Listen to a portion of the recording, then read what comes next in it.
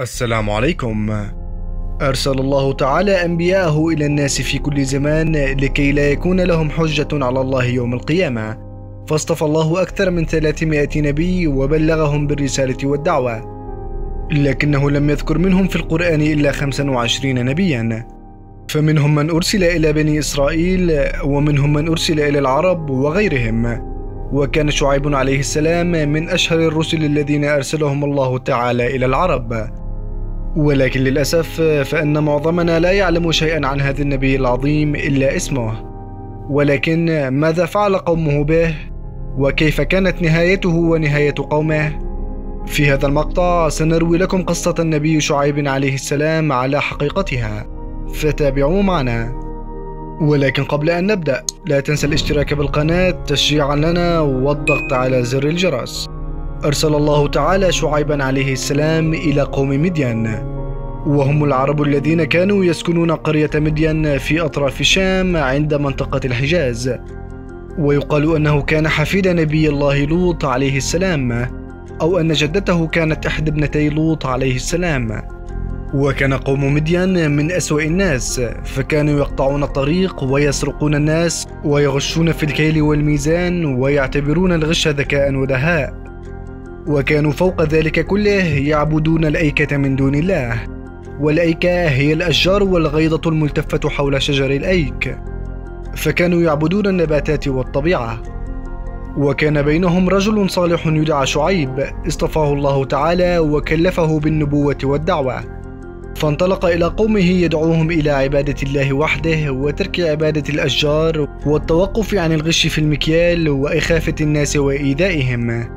قال تعالى وإلى مدين أخاهم شعيبا قال يا قوم اعبدوا الله ما لكم من إله غيره ولا تنقصوا المكيال والميزان إني أراكم بخير وإني أخاف عليكم عذاب يوم محيط ولكن كعادة الأقوام الكافرة المتكبرة فقد رفض قوم مدين الاستماع لكلام شعيب عليه السلام فقد كانوا يعتمدون في حياتهم على قطع طريق المسافرين والغش في كل شيء فقالوا له أتريدنا أن نترك دين آبائنا وأجدادنا ونستمع لك؟ فمن تظن نفسك؟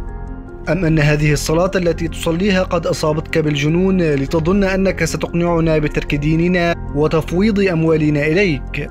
فقال لهم: أنا لن آمركم بشيء إلا وسأكون أول من يفعله فيكم، ولن أنهاكم عن شيء إلا وسأكون أول من يتركه منكم، فلم لا تصدقون كلامي؟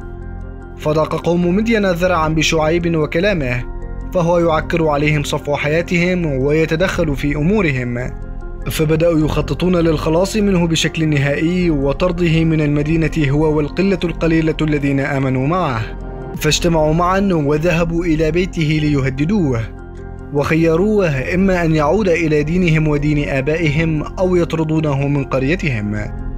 قال تعالى قال الملأ الذين استكبروا من قومه لنخرجنك يا شعيب والذين آمنوا معك من قريتنا أو لتعودن في ملتنا. فقال لهم وكيف تريدون إجبارنا على أن نترك ديننا وأن نترك الحق وعبادة الله الواحد بعد أن من الله علينا وهدانا للإيمان به؟ يا قوم لا تجعلوا حبكم لمخالفتي وخصامكم لي ولما جئتكم به يدفعكم على الاستمرار على ضلالكم وجهلكم.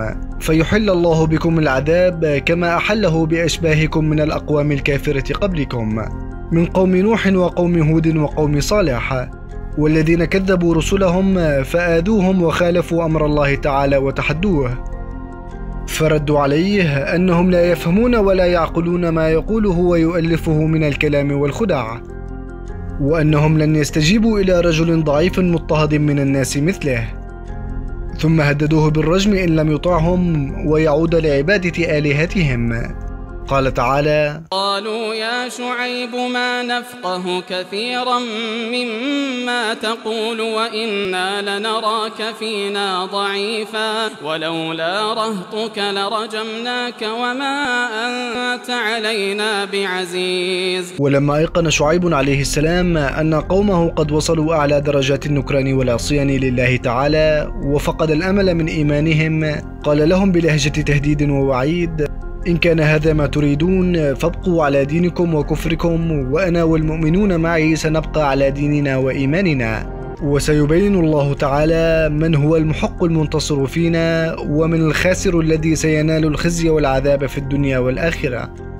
وعندما وجد شعيب أن قوم مدين بدأوا يعتدون عليه وعلى المؤمنين معه استنصر ربه عليهم في تعجيل ما يستحقونه من العذاب فقال ربنا افتح بيننا وبين قومنا بالحق وأنت خير الفاتحين. والله لا يرد دعاء رسله إذا استنصروه على الذين جحدوا وكفروا به وخالفوا رسله. فأمر الله تعالى شعيبا أن يخرج بالمؤمنين من القرية لكي لا يصيبهم العذاب مع قومهم. فخرج شعيب والمؤمنون جميعا وابتعدوا عن قومهم اتقاء لغضب الله تعالى الذي سيحل بقريتهم. وجاءت ساعة العقاب الإلهي والغضب الرباني الذي لا يرد ولا رجوع بعدها. وفجأة لم يجد قوم مدين إلا أن رجفت بهم الأرض وزلزلت زلزالا شديدا دمر بيوتهم وقريتهم وأزهق أرواحهم. وصيحة شديدة عظيمة سوت أجسادهم بالأرض وأخمدت الأصوات. فلم يبق فيهم رجل يتنفس بنفس أو ينبس بحرف واحد. قال تعالى فأخذتهم الرجفة فأصبحوا في دارهم جاثمين. الذين كذبوا شعيبا كأن لم يغنوا فيها. وأنجى الله تعالى بفضله نبيه والذين آمنوا معه من أهوال ذلك العذاب المرعب. قال تعالى ولما جاء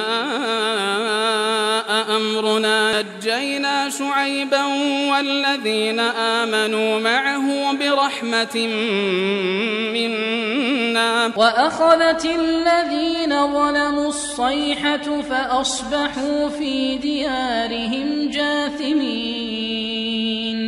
وعاد شعيب إلى أبواب القرية فنظر إلى محل بقومه وقال يا قوم مدين قد أديت ما كان واجبا علي من البلاغ والدعوة والنصح الدائم لكم وحرصت على هدايتكم بكل ما أقدر عليه فلم ينفعكم ذلك لأن الله لا يهدي من يضل فكفرتم بالله وتحديتموه فكيف أحزن على قوم كافرين لا يقبلون الحق ولا يرجعون إليه؟ قال تعالى فتولى عنهم وقال يا قوم لقد أبلغتكم رسالات ربي ونصحت لكم فكيف آسى على قوم كافرين؟ ذلك جزاء من لا يعتبر بغيره من الأمم والأقوام. فقصة قوم مدين لم تكن بعيدة عن قصة قوم لوط قد كانوا بعدهم بزمن قريب. ولكن الله أعمى بصيرتهم فأصروا على كفرهم ولم يعتبروا بغيرهم فكانت تلك عاقبتهم. ويقول كثير من العلماء أن شعيبا كان شيخ مدين أو كاهنها وأن موسى عليه السلام حينما هرب من مصر خوفا من غضب الفرعون بعد أن قتل أحد جنوده سافر إلى مدين فتعرف على شعيب عليه السلام والد الفتاتين التي ذكرت قصتهما في القرآن الكريم. واللتين كانتا يريدان أن يسقيا أغنامهما ولكنهما كانا ينتظران الرعيان حتى ينتهوا من السقاية فأتى سيدنا موسى عليه السلام وأعانهما على ذلك. ولقد التقى شعيب عليه السلام موسى فأحبه وأعجبه. ولقد زوجه إحدى بناته بمقابل أن يعمل موسى عليه السلام لديه ثماني حجج أي ثمان سنين. وقد أتم النبي موسى عليه السلام العمل لديه عشر حجج قبل أن يهاجر مع أهله من مدين ويعود إلى مصر. وبقي شعيب عليه السلام عند قومه في مدين. نرجو أن يكون المقطع قد نال إعجابكم. إن أعجبك المقطع لا تنسى وضع إشارة الإعجاب دعما له ومشاركته مع من تحب. ولا تنسوا الاشتراك بالقناة تشجيعا لنا والضغط على زر الجرس. فتفعيل زر الجرس مهم وضروري جدا حتى تصلكم مقاطعنا القادمة. ودمتم بحفظ الله ورعايته.